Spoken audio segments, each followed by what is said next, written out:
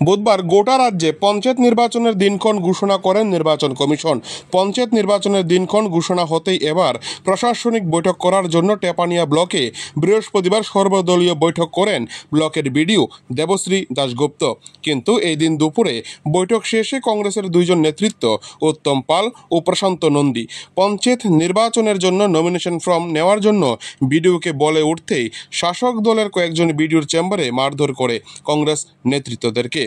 এই খবর বাইরে বেরিয়ে আসতেই উদয়পুর জেলা কংগ্রেসের সভাপতি টিটন পালের নেতৃত্বে যুব কংগ্রেস, ব্লক কংগ্রেস কর্মীরা উদয়পুর রাধাকিশোরপুর থানা ঘেরাও করে দীর্ঘ এক ঘণ্টার উপর চলে ধর্ণা কর্মসূচি।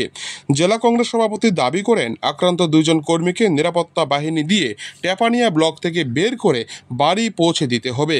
পুলিশ এই বিষয়ে আশ্বস্ত করলে ধর্না তুলে নেয় কংগ্রেস কর্মীরা।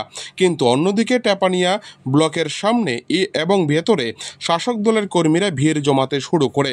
পুলিশ দীর্ঘ আলোচনা শেষে বিডিওর অনুমতিক্রমে তাদেরকে করা নিরাপত্তা দিয়ে বাড়ি নিয়ে যাওয়ার জন্য বের হতেই হঠাৎ করে সিপিএমএল এর নেতা পার্থ কর্মকারের উপর আক্রমণ করা হয়। মুহূর্তের মধ্যেই পরিস্থিতি অন্যদিকে মোড় নেয়। এই ঘটনায় পরিস্থিতি সামাল দিতে নামানো হয় কেন্দ্রীয় বাহিনী ও টিএসআর।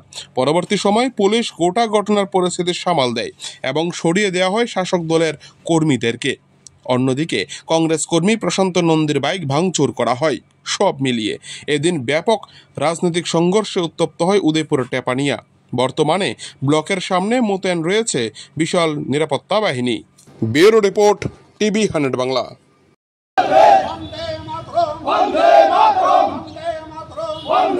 ভাবে তিন তিনবার ফোন করেছি।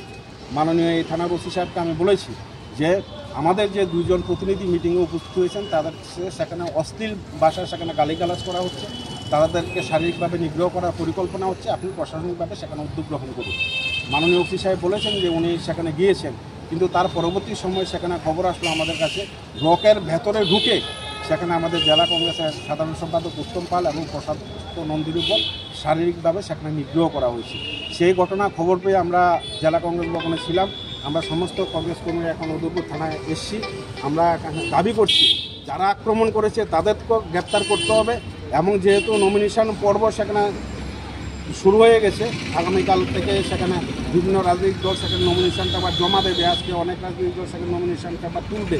এই নমিনেশন জমা দেওয়ার ক্ষেত্রে এবং তোলার ক্ষেত্রে যাতে কোথায়ও সেখানে ভারতীয় জনতা পার্টির সন্ত্রাসের পরিবেশ সেখানে কায়েম করতে না পারে, মানুষের যে অধিকার অধিকার হরণ করতে না পারে, সেখানে পুলিশ, প্রশাসন সেখানে কঠোরভাবে সেখানে তার ব্যবস্থা নিতে হবে। এবং আমরা এসছি, আমাদের যে দুজন প্রতিনিধি এখনও সেখানে বন্দী আছেন, টেপানিয়া সেখানে ব্লক অফিসের মধ্যে, তাদেরকে পুলিশি নিরাপত্তার মাধ্যমে তাদেরকে সেখান থেকে বের করে আনতে হবে। যতক্ষণ পর্যন্ত সে প্রতিশ্রুতি না পায়, আমাদের এখানে বিক্ষোভ চলবে।